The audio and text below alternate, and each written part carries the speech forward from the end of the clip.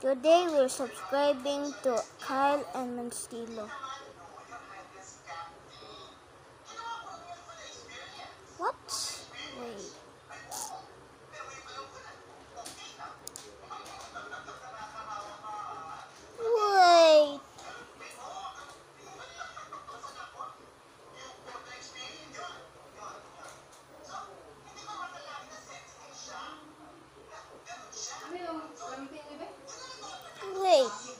What was his name